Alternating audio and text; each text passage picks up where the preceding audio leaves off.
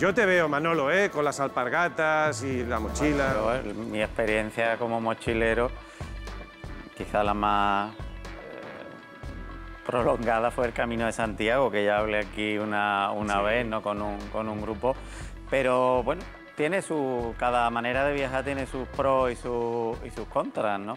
Eh, lo que pasa es que España, por lo menos, es un país complicado para, para los mochileros en el sentido de que el transporte público no funciona bien.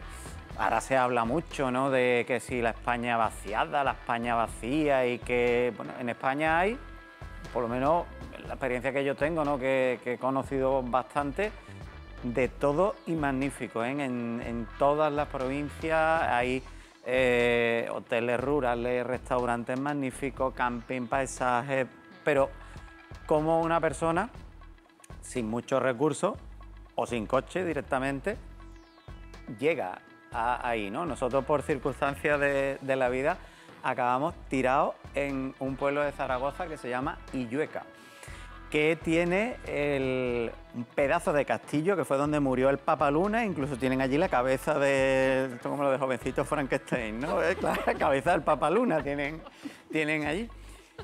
Y eh, teníamos que salir de, de Illueca y creo que el tres días, ¿no? Eh, El transporte público eran tres días para salir de, de allí, ¿no? Si queremos que Tres días de espera. tres días esperando a que llegara un autobús. O sea, si, si lo que queremos es que la gente venga a, a los- a los pueblos, que el país se conozca y que determinadas zonas salgan del aislamiento, creo que tenemos una asignatura pendiente que es el transporte público.